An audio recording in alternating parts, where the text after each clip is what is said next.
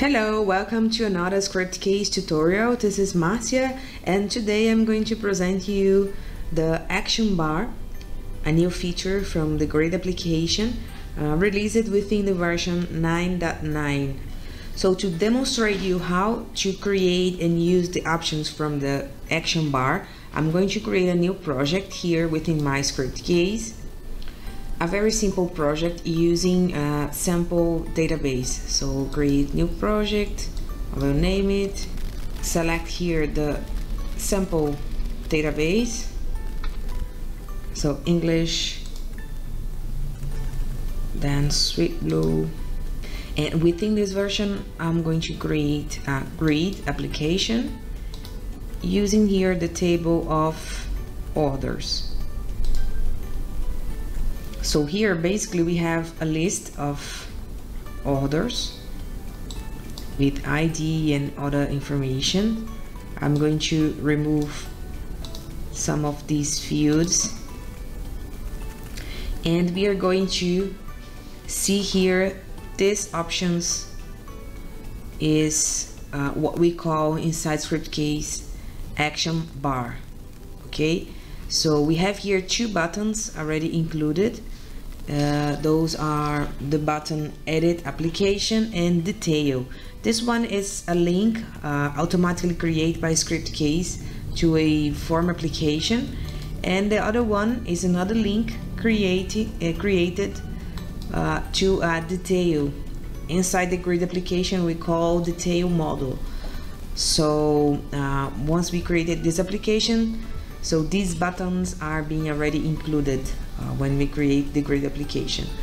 Uh, with this option of action bar, you will be able to change here the position and also add more buttons to this area uh, in the right side or in the left side. So let's go here to the Scriptcase interface. You will see here the new option action bar okay you have two bar where you will manage uh, buttons from top and bottom toolbar and the action bar where you will manipulate the buttons from this area here within the grid body. Okay so inside the records you have here the options. Um, I can reposition for example edit application to the right bar. So we will have this behavior here. And we can also create uh, new buttons so I'll click here create new button. And then you will have two different options what we call here types which are links and Ajax so if you create it as a link it doesn't mean that it will be a link. It means that the behavior will be to link this application to another application. The same behavior that we have for example with this um, edit button that we already have here I'm going to create here as link click next and then you have here the display type. You can choose if it's font awesome image or text. Okay. And also you have the state. In this case since it's a link button you have only one state. So I'm going to select here the font awesome icon. So for example we can add this one here we can change the colors add a hint and save.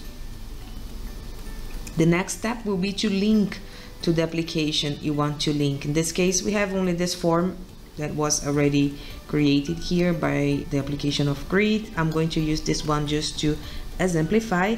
The foreign key will be the order ID okay this is the parameter I'm passing here between the applications and here we have the link I'm going to run so we can see within the application. Okay we have here the button.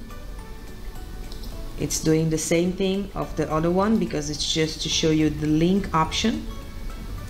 It could be linked uh, to another application. Here if you go back you can also for example click here within visual option you will go again to that option for you to customize. It can change for example to image and I will add here an image from the from the image uh, library. Or I can also add it as a text.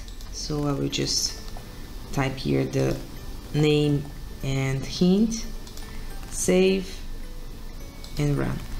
So you have these uh, three options. So it's it looks like a real link now. If you use the option text okay? I will turn it back to font awesome and save. Okay uh, another important option that you have here inside this um, action bar is to edit the layout. In this case you have this interface here where you can control all the buttons together. If you do here inside the button visual you will change only for this single button. Then if you go here in the edit bar you will be changing for all the buttons. So I can change for example the size. I'm going to add here 25 and also I'm going to change the color. So we are using font awesome then I'm going to add here a black color for example and we have a very important option here which is this override buttons. This option will also change the layout of the button detail and edit application. Because as we know this button uh, these buttons are already coming within the application. So if you need to change the layout of this button or the the edit or the detail you will need to go to layout button themes and then inside button themes you will have the option to change for example the icon or to add or or to edit all the options from the css okay we have a, we have done a video about it. I'm going to add this video to the uh, comments here of the youtube so you can find also this for you to understand what I'm talking about. So here let's just click this option and I'm going to apply this color and this size uh, for the button I've created link and also for the buttons from the application. So let's save and run. So as you can see we have now um, a new size and a new color okay? So this is what I'm trying to show here. Another option that we have is uh, the type Ajax. And then this type will offer you more options because then you'll be able to use the Ajax events. And we have added also some new macros for you to manipulate the states. So let's see how we can create using this type. I'm going to create a new button. And here the type will be now Ajax and then let's test here AJ Ajax.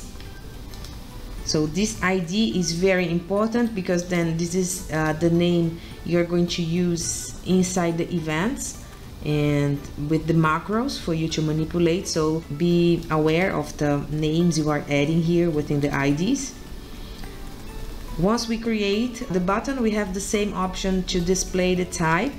You can choose here uh, the type you will display your button but you have a new option to add states because then since you have Ajax option you will be able to add different states and change the behavior of the button according to the state. So I have state 1 state 2 I can add for example one button active and another one like different for me to uh, manipulate the states here. You have the same options for the layout, but here, once you create an Ajax uh, button, you will you will see that Scriptcase will send you to an Ajax event and the event will be already created using the name of the button and here you will code your rule what do you need to do with this button okay? Then you have the option here for the parameters listing the fields. And we did an example. You will be able to download this example within the samples application. I'm going to open here another Scriptcase. And we have this action bar. Okay so here I will run to show you the application. So we have here this grid application with some projects. Then you have project description, priority, status, um, and then you have the buttons to change some options here. For example this one uh, this task here is in progress. Then I can for example um, complete the task. It will say okay completed then if you uh, note the button is now um, disabled okay because since the task is already completed I cannot complete it again. So I can just block the task. So it will be um, locked or I can unlock the task. And uh, the options here will change also the status and priority. So this is one example of you using here Ajax to manipulate these um, action bar buttons.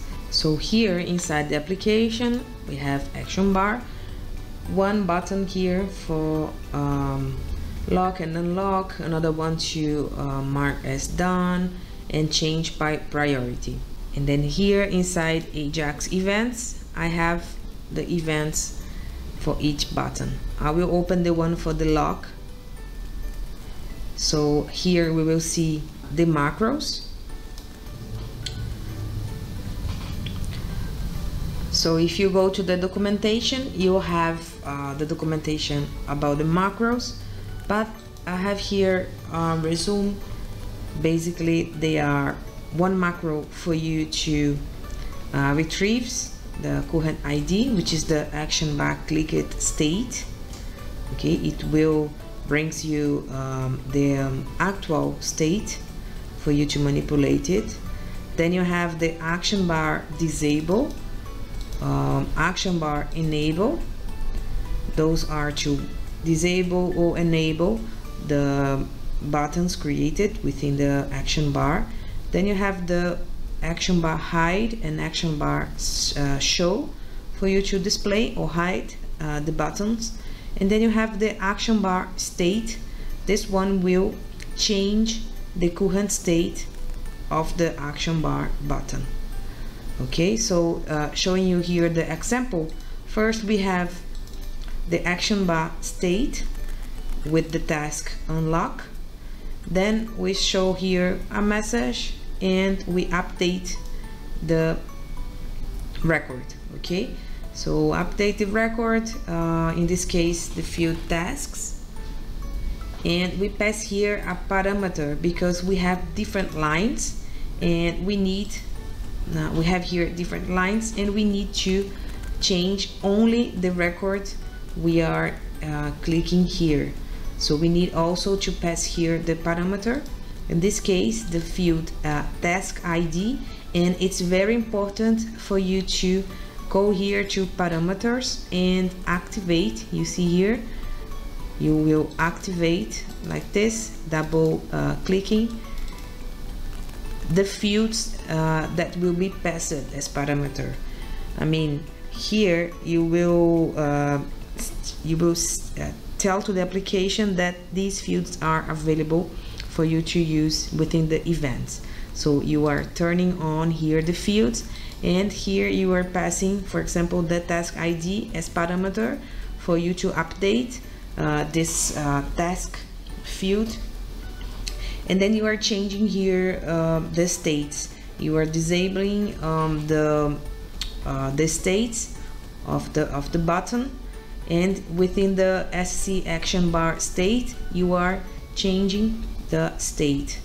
Here you have the button name and here you have the state uh, name so that's why I told you that the IDs and the names that you are adding within the fields are very important because then you will be you will have to use them here. And we have again the macro uh, doing the opposite here. Um, when the the task is locked then you will again so show the message update.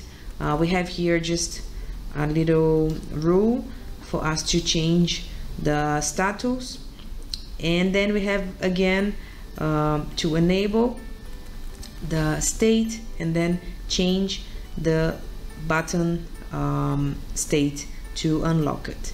Okay? So it's just complementing. At the end we are executing the SQL and showing the message for success. So this is the example uh, for this field here you see with the lock. Okay then we have another one for the for the um, for the task. And another one for the mark as done. The mark as done is uh, this one here mark as done. And the, the other one is the set priority. This one will set for example priority. It is updating. When I click here the priority is high. And then when I click I change here to medium. Uh, if I lock I cannot modify anymore because the record is locked.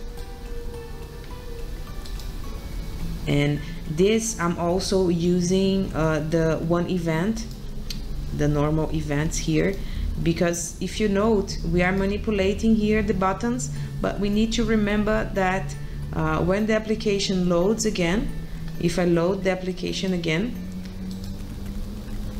I need also to inform to give this information to the application because here I'm just using Ajax. I'm not manipulating the application itself. So using here the event on record because it's being done record by record I'll be able to also uh, update the states.